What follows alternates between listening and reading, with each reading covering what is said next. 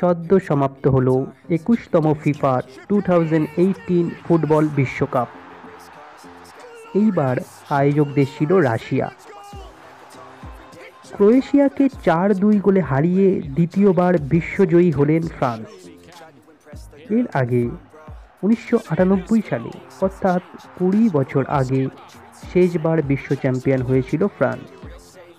সেই দলের অধিনায়ক ছিলেন বর্তমান কোচ দিদিয়ের দেশ। এখনও পর্যন্ত বিশ্ব ফুটবলের ইতিহাসে দুজনই অধিনায়ক এবং কোচ হিসাবে বিশ্বকাপ জিতেছেন।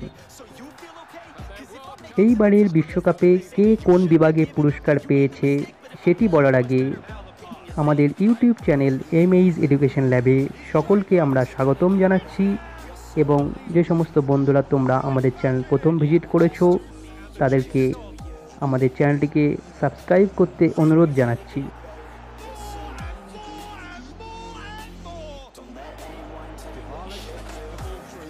তো ফ্রেন্ডস এখন আমরা শুরু করব যে কে কোন বিভাগে পুরস্কার পেয়েছেন সেই নিয়ে। অর্থাৎ এই ইনফরমেশনগুলো আসন্ন বিভিন্ন পরীক্ষার ক্ষেত্রে ইম্পর্টেন্স হবে কারেন্ট অ্যাফেয়ার্সের কোশ্চেন তো শুরু করা যাক। এইবারে চ্যাম্পিয়ন্স দল হলো ফ্রান্স এবং ফ্রান্সকে দেওয়া হয়েছে মোট আটত্রিশ মিলিয়ন ডলার। রানার্স আপ হয়েছেন ক্রোয়েশিয়া। ক্রোয়েশিয়াকে দেওয়া হয়েছে আটাশ মিলিয়ন ডলার। তৃতীয় স্থান অধিকারকারী হলেন বেলজিয়াম এবং বেলজিয়ামকে দেওয়া হয়েছে চব্বিশ মিলিয়ন ডলার। চতুর্থ স্থানকারী হয়েছে ইংল্যান্ড এবং ইংল্যান্ড দলকে দেওয়া হয়েছে বাইশ মিলিয়ন ডলার। Golden boot. প্রথমে বলে রাখি, এই গোল্ডেন বুট কোন প্লেয়ারকে দেওয়া হয়?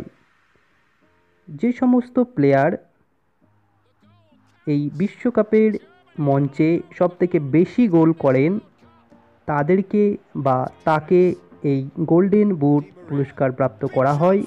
এবং এইবারের, অর্থাৎ একুশতম ফিফা টু ফুটবল বিশ্বকাপে গোল্ডেন বুট পুরস্কার প্রাপ্ত হয়েছেন হ্যারি কেন তিনি ইংল্যান্ডের অধিনায়ক। এবং এর পরের পুরস্কারটি হলো গোল্ডেন বল।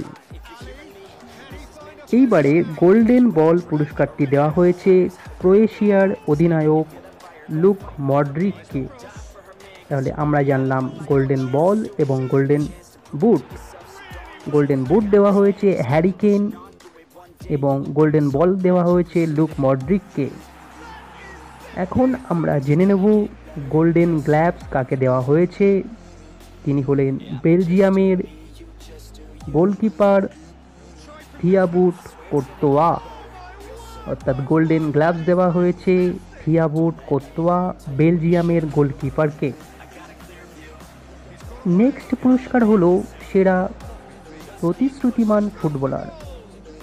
সেই সেরা প্রতিশ্রুতিমান ফুটবলার হলেন কিলিয়ান এমব্যাপে, তিনি ফ্রান্সের একজন খেলোয়াড় এবং বলে রাখি তার বয়স মাত্র উনিশ বছর। নেক্সট পুরস্কার হলো ফেয়ার প্লে পুরস্কার। অর্থাৎ সব থেকে ভালো খেলার জন্য যে পুরস্কারটা দেওয়া হয়, সঠিকভাবে খেলার জন্য, সেই পুরস্কারটি দেওয়া হয়েছে স্পেনের দলকে। এবং এই একুশতম ফিফা টু ফুটবলের যে ফাইনাল খেলা হয়েছে, সেই ফাইনাল খেলার সেরা হয়েছেন গ্রিজম্যান তিনি ফ্রান্সের একজন খেলোয়াড়। তো ফ্রেন্ডস এখানে আমরা দশটা পুরস্কার, সেই পুরস্কারের নাম এবং দশটি পুরস্কারপ্রাপ্ত দল এবং খেলোয়াড়ের নাম আমরা এখানে উল্লেখ করলাম।